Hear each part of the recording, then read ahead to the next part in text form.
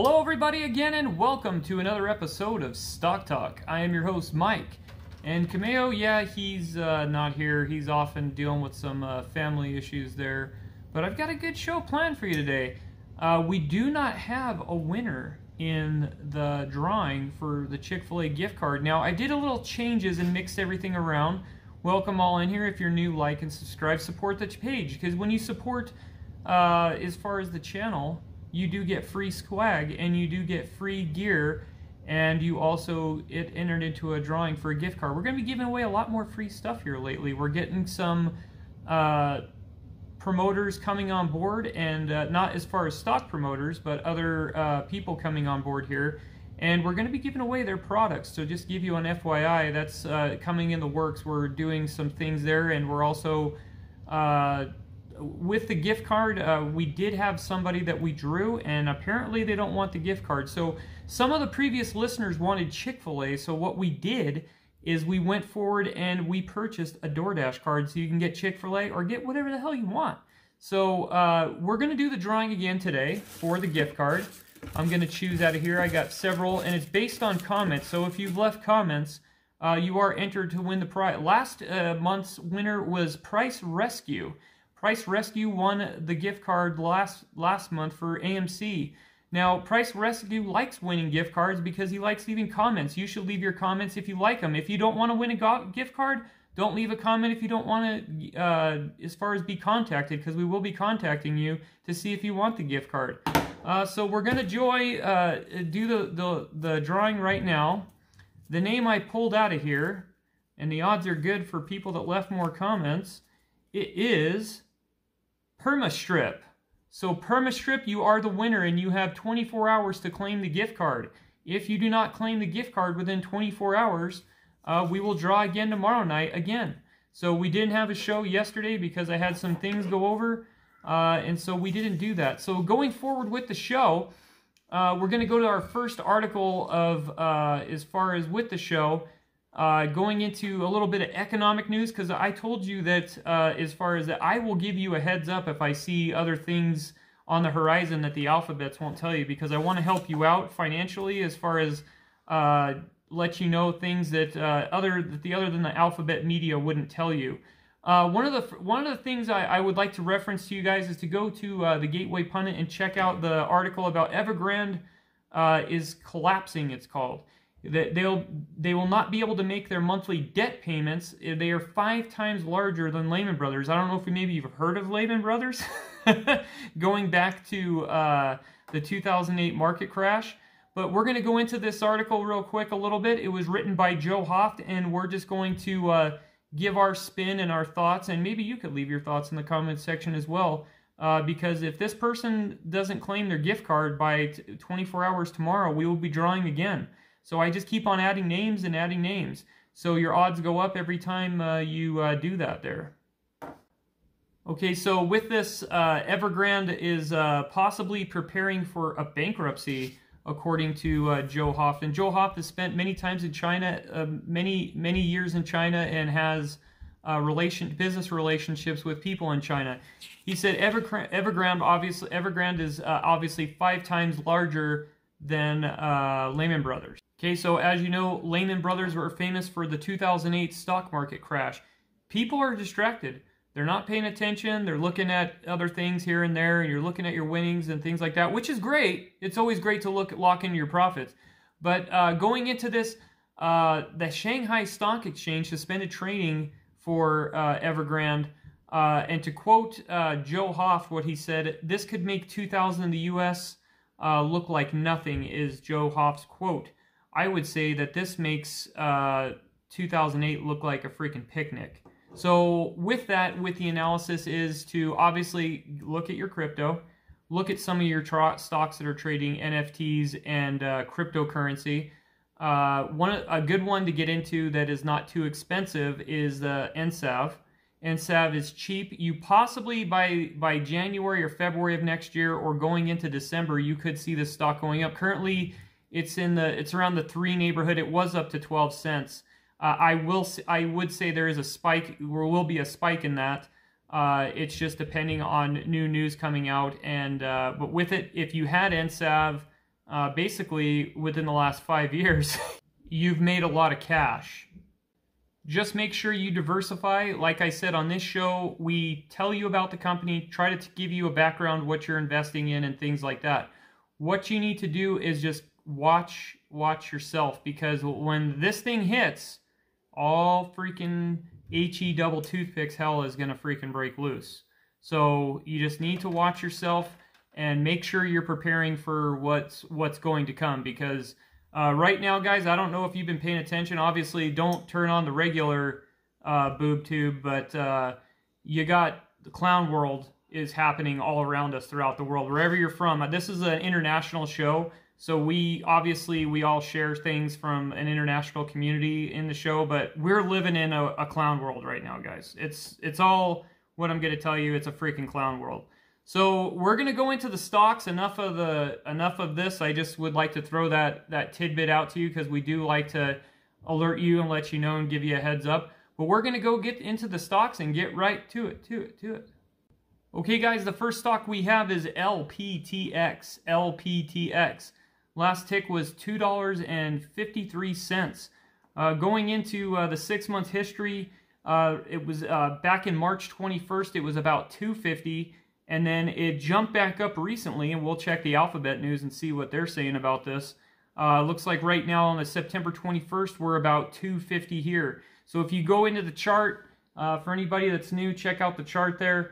Uh, we're messing with the TVs and everything like that here, technical difficulties, but we'll get back with it. Uh, you know, it could be up in a day or two, uh, maybe next week, something like that. So, okay, interesting part of this article, which is the heaviest hitter part of the article uh, is basically saying that the LT uh, BeiGene, uh, the LTD uh, anti-PD-1 antibody uh, and, ke- uh, and chemotherapy in patients with gastric or gastrial junction cancer at the European Society for Medical Oncology Congress, the, the company will host a conference call on Friday, September 17th to discuss preliminary results of the study.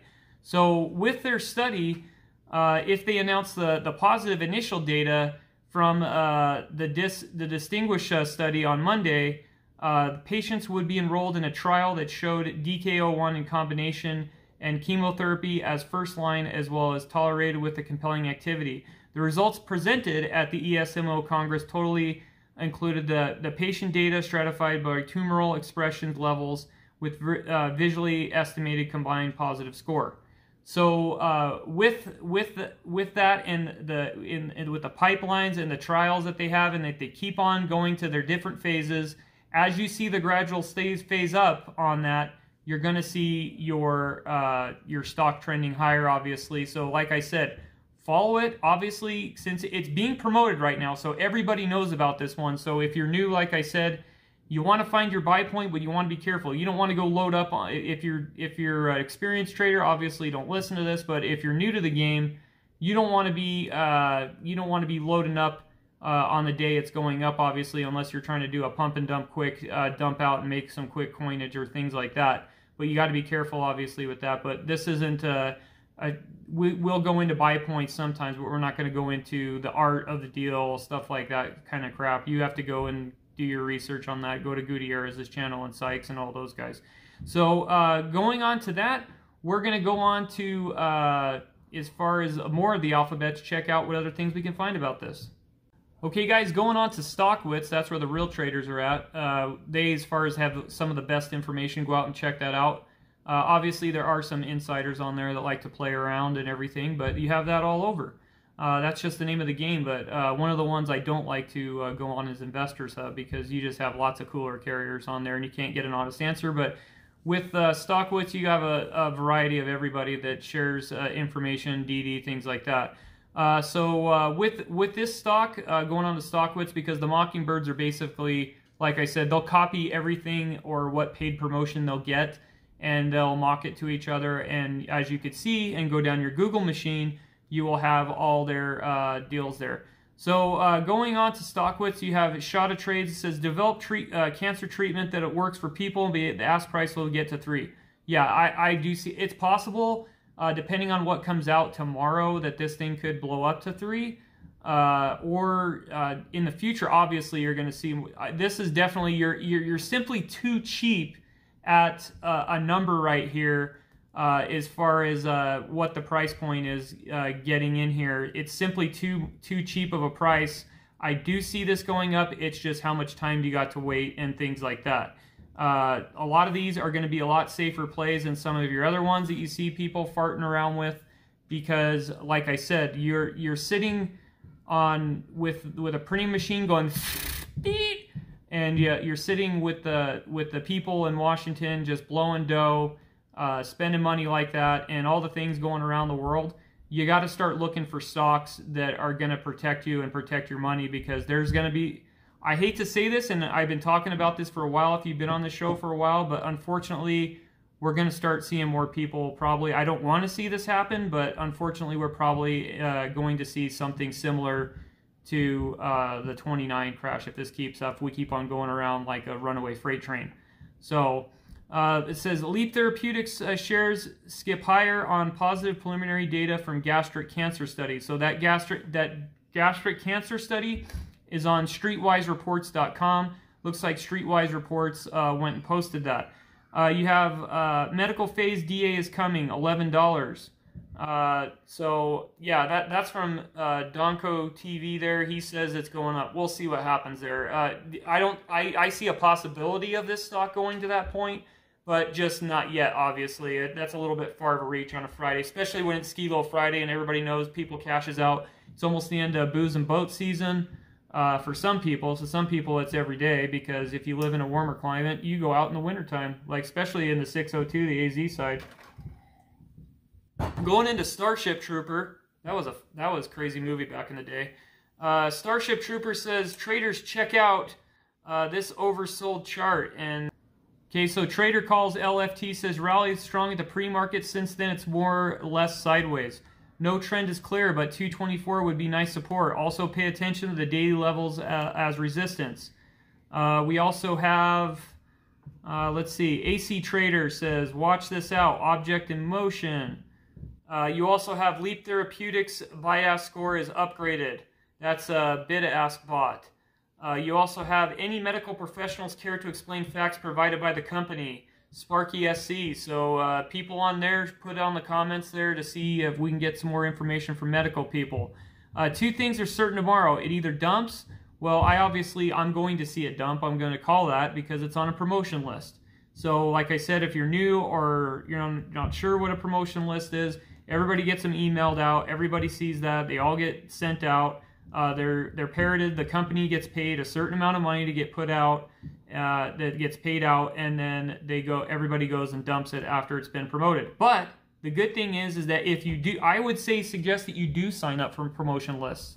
The reason why you sign up for promotion lists is because when they do pump, you go and gobble up the cheap shit. So that's that's that's what I like to do. I like to grab the crap stuff, uh, the the good the good shares when they're cheap, and I gobble up everything that people dump out. Because if they, unfortunately, some people uh, the, they'll drop out and they'll leave the cheap stuff, and I'll we'll just go back and grab it. That's our advantage that we have.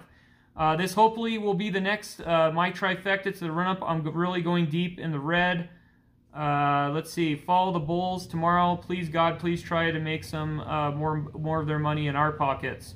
Uh, okay, guys. The next stock we have is KOS. KOS. Last tick was two dollars and fifty cents. Uh, going through the year-to-date chart, I'm going to put it up on your screen there. Uh, looks like we have from November 20, uh, it was below because obviously uh, we were pretty much energy independent. Then as you get up to uh, when Q card comes in, this thing spikes. Now also notice the other spike that you're going to see. It spiked above three and then it got above, uh, got up to, to four again with your summer travel. So you have summer travel with this and you also have uh, they're into they're into gas there as well. We'll go we'll go a little more into the spikes here before the description. I want to get to the description first. So they engage in the exploration development of oil and gas. The firm's assets include production of offshore Ghana, uh, Equatorial Guinea, and the U.S. Gulf Coast of Mexico, as well as development of offshore Mauritania and Senegal. So uh, there you have it on that. Okay, guys, so going on to StockTwits, we have Birkenstocks. He says oil and gas are looking bullish. KOS uh, double inside day. Tell single digit every day. Oil futures still bullish. Continued falling through. Yeah, guys, oil and natural gas, like in the next in the next little bit, it's not going away anytime soon. So uh, it's going to go keep on going higher because Q Card uh, wants to be dependent on everybody for reasons which I have theories, but we're not going to go into this because we're not a political show. But if we have anything that Dire needs, we will share it, obviously. Uh, KOS uh, 675 says Kosmos equals garbage. CFE trying to break $4 and garbage still fighting at 250 when penny stocks will average six to seven dollars, Kosmos will struggle above three. So that was his take. See, like I said, I don't just give my take. This isn't a promotion uh, show for me to promote anything. I'm just telling you what everybody's saying about the stock there. Uh, let's see here before we go in there. KOS then $74 a barrel, 390 a share. Now 72, 42, 46. Oil inventories are way down now. Oil consumption is way up now. Yep, KOS is a huge bargain right now in the funnel. See, that's some of the thing that I'm I'm just saying that if you can get oil and natural gas at bargain basement prices, if you come into February and and January and December with speculation, you could you could still make some dollar riskies here. It doesn't. I mean, I've made money off a junk stock, uh, not a junk stock, but a company 66 oil fields, uh, simply shorting that after the prices went up during the right season buying it cheap and getting in. That's what you got to do. And then you could go back, lock in your profits. You know what to do to get the dollariskis. Uh, posted this a couple weeks ago, broke resistance. I think $3 is reasonable. Uh, looks like SEC form Clark Richard Ryan was granted 7,055 uh, units of common shares, converted exercise tax liability with 26,166 units of common shares, increasing direct ownership by 7% to 640, 427 units. Uh, and you can go, that's uh, QuantusNow.com. It looks like Quantus Now posted that. Uh, KOS, uh, 62,526.74 of shares are sold by Clark Richard, uh, SVP President, Gulf of Mexico Unit, reported on form filed for, for, for filed with the SEC. Uh, this is a bankrupt outfit, Stonker 101, or soon to be. Stay away. They might hire recurring uh, rest, rest advisors that, that you're all bag holders will take a massive uh, pointing stock will drop 20 cents in a heartbeat if they much announce that the CH.11 is a reverse split. So there you have it on that. So you have all of your good, your bad, your ugly on this stock. You've had your take from your real traders that now you have to take the information and see what you want to do with it or if you're just going to give a hard pass on this one. Okay, guys, the next stock we have is TUEM. TUEM. Last tick was $2.32. Uh, going back uh, back in January 2021, this one was under $2. So you can go back there and check that out there. Uh, crested in March of 2021, looks like after uh, lockdowns, things like that, after the hard winter, uh, almost to July, you were looking at almost 475, 450 and change. And then we saw a massive drop, probably uh, pump dump, things like that, back in uh, looks like uh, early September. Not not of recent, but of uh, sorry, as of recent, the beginning of September. But then we're seeing a little uptick. Now going with uh, back on here, Tuesday morning engages in the upscale decorative home and lifestyle goods. Its portfolio of products includes bath, body, bed, craft supplies dining and kitchen furniture, gifts, and gourmet food, holiday party, and luggage and outdoor things. So we'll go to the website, check it out, and see what we got. Going on to the website, well, it looks like a $2 and change stock. Going into this, uh, it's the thrill the hunt, rewarding bargain hunters with name brands since 1974. So we're going back to late great 1974. Uh, find Tuesday morning stores near you, almost 700 plus locations. So that's good there for you right there. But like I said, uh, we're covering these because we, you know, they were popping things like that on the radar.